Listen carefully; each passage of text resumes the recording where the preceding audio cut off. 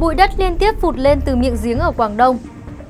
Tường biên của trung cư cao tầng ở Hồ Nam nứt toác vệt dài 50 mét, Phụ nữ trẻ xé cờ biểu tượng của Đảng Cộng sản Trung Quốc treo bên đường. Mải ghi phiếu phạt, xe của cảnh sát Trung Quốc bị người dân tháo mất bánh.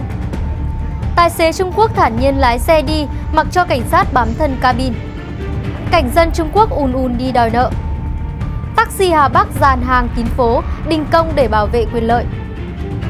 Không may bị ngập nước, nhà hàng ăn ven sông bất ngờ lại ăn nên làm ra. Di tượng cá nhảy loạn khỏi mặt nước trong đêm, không rõ điểm báo lũ lụt hay động đất.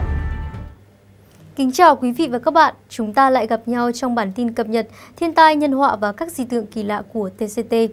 Trong bản tin ngày hôm nay, chúng tôi sẽ cập nhật về những cảnh tượng đang diễn ra tại Trung Quốc. Trung Quốc vẫn đang là tâm điểm của những thiên tai và di tượng. Bụi đất liên tiếp phụt lên từ miệng giếng ở Quảng Đông. Epoch Times Hoa ngữ hôm 9 tháng 10 đăng tải lại một video trên mạng xã hội ghi lại cảnh bụi đất liên tiếp phụt lên khỏi miệng giếng ở Phật Sơn, Quảng Đông. Cư dân mạng cho rằng đó là sự dịch chuyển của long mạch, tích tụ năng lượng hoặc dấu hiệu báo trước về một trận địa chấn sắp xảy ra.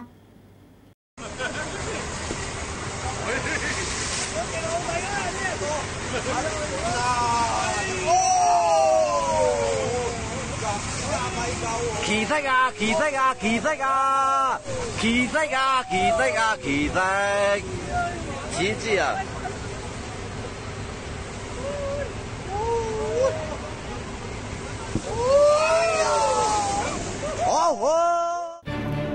biên của chung cư cao tầng ở Hồ Nam nứt toác về dài 50 mét.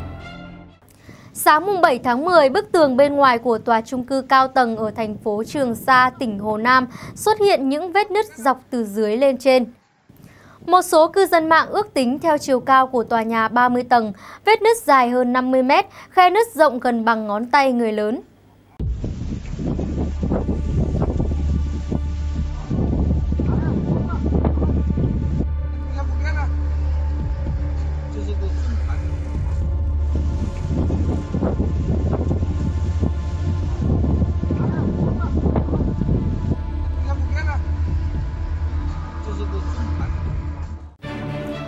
Nữ trẻ xé cờ biểu tượng của Đảng Cộng sản Trung Quốc treo bên đường. Epoch Times Hoa ngữ hôm 9 tháng 10 đăng tải lại một video được ghi lại bởi camera an ninh cho thấy một phụ nữ trẻ đang giật cờ Đảng Cộng sản Trung Quốc treo trên cây ven đường xuống, tức giận xé rách nó rồi vứt xuống đất.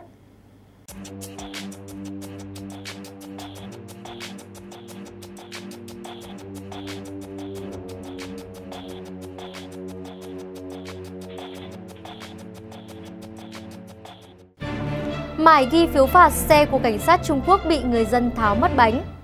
Gần đây, gần khu vực Hải Đường Hiểu Nguyệt ở thành phố Trùng Khánh, một cảnh sát giao thông đến bắt lỗi người vi phạm giao thông. Sau khi mải miết ghi phiếu phạt, vị cảnh sát quay lại thì xe của anh ta đã bị một người đàn ông tháo mất bánh sau bên ghế lái.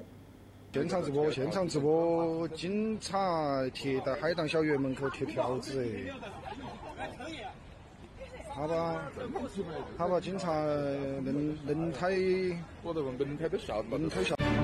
xế Trung Quốc thản nhiên lái xe đi mặc cho cảnh sát bám thân cabin. Đây là video ghi lại một tình huống đối đầu đáng chú ý khác giữa cảnh sát giao thông và người dân Trung Quốc. Vị tài xế vẫn thản nhiên lái xe đi, mặc cho cảnh sát bám thân cabin và liên tục yêu cầu tài xế dừng xe tải lại.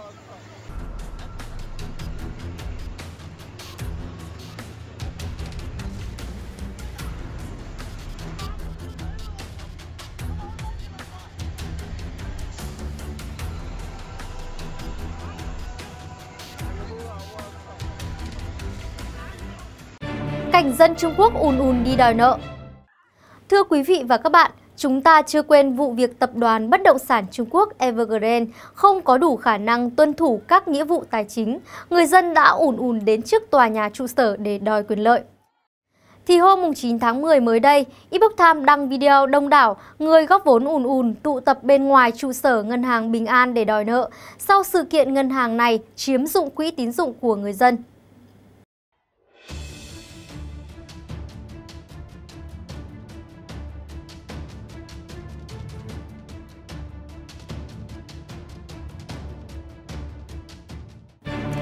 Taxi Hà Bắc dàn hàng kín phố, đình công để bảo vệ quyền lợi. Vào ngày 9 tháng 10 tại thành phố Tân Lạc, Thạch Gia Trang, Hà Bắc, các tài xế taxi đã dàn hàng kín cả dãy phố để đình công bảo vệ quyền lợi. Yêu cầu của họ bao gồm giảm phí quản lý, hủy bảo hiểm chỉ định và hủy các khoản phí bất hợp lý khác.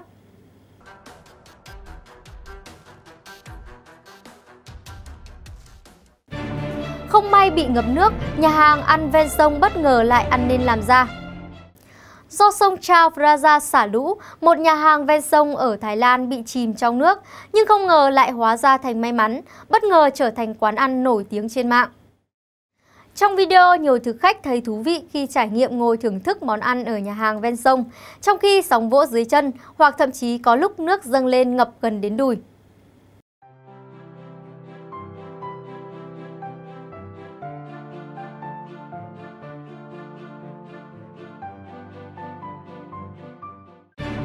Dị tượng cá nhảy loạn khỏi mặt nước trong đêm, không rõ điểm báo lũ lụt hay động đất. Đây là video Ebook Time Hoa ngữ đăng tải cảnh cá chuồn nhảy loạn trên mặt nước ở Thâm Quyến hôm 10 tháng 10. Cư dân mạng bình luận rằng có một cơn địa chấn trong lòng đất hoặc là năng lượng nước rất lớn. Người dân hãy chuẩn bị đề phòng. Đó là điểm báo một trận động đất lớn xảy ra hoặc là một cơn bão với lũ lụt, sóng to gió lớn sắp ập đến.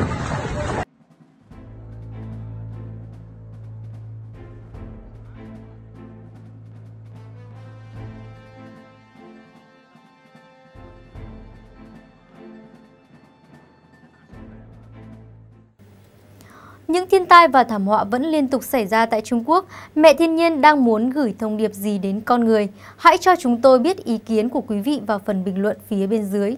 Thông tin vừa rồi đã kết thúc bản tin của chúng tôi. Cảm ơn quý vị và các bạn đã quan tâm theo dõi. Xin chào và hẹn gặp lại!